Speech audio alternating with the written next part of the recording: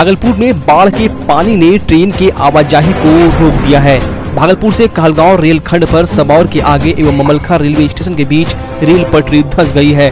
पटरी के नीचे से बाढ़ का पानी बहने लगा है। नतीजा भागलपुर का रेल संपर्क सिर्फ़ बांका और दुमका रेलखंड के माध्यम से ही हो पा रहा है। वहीं कई ट्रेनों को कैंसिल किया गया है और कई ट्रेन के रूट में तब्दीली की गई है। वहीं बिना जानकारी के स्टेशन पहुँच गए यात्री परेशान हो रहे हैं। गंगा के जलस्तर में लगातार बढ़ोतरी हो रही है, जिसके कारण गंगा का जलस्तर पटरी तक पहुँच गया है।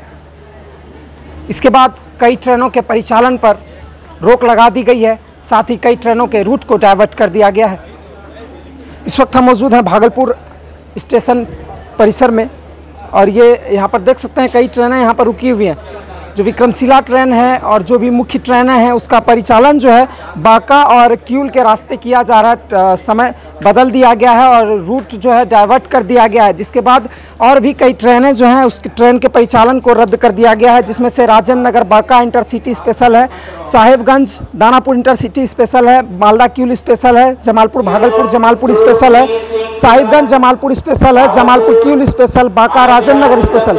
इस ट्रेनों को रद्द कर दिया गया है, साथ ही साथ जिस ट्रेनों को डाइवर्ट किया गया है, वो है विक्रमशिला एक्सप्रेस भाया बांका जी बांका जसीडी, हावड़ा गया स्पेशल भाया झाझा, डाउन फरक्का एक्सप्रेस साथ ही यहाँ पर भी और ट्रेन है। ब्रह्मपुत्र मेल भाया कटिहार बरौनी कर दिया गया है। डाउन विक्रमशिला को भाया झाझा जसीडी बांका किया गया है। अप फरक्का एक्सप्रेस को भाया कटिहार पटना चलाया जा रहा है। साथ ही हावड़ा जमालपुर एक्सप्रेस को भाया रामपुर हाट दुमका के रास्ते चलाया जा रहा है और रांची बर्नाचल एक्सप्रेस भाया दुमका रामपुर हाट के रास्ते से चलाया जा रहा है। साथ ही साथ मालदा आनंद बिहार न्यू फरक्का एक्सप्रेस भाया कटिहार बरौनी सत्रह अगस्त के बाद से जो इसका ट्रेन का जो रूट डाइवर्ट कर दिया गया है।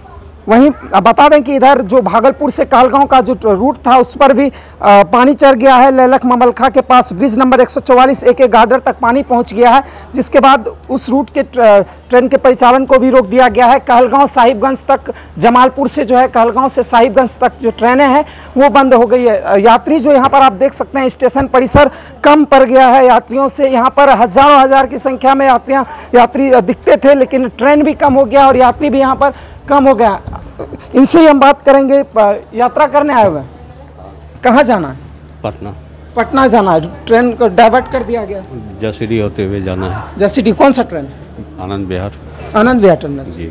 घूम कर जा रहे हैं? घूम के जा रहे हैं। परेशानी तो हो रही है? काफ़ी परेशानी हो रही है। समय भी ज़्यादा लगा। मालदा ट्रेन की थी वो भी कैंसिल हो गई टिकट भी ऐसे चली गई। रिफंड भी पैसा नहीं आया।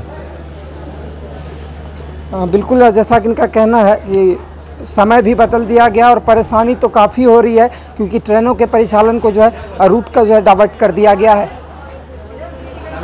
Ashwini Kumar pig news Bhagalpur.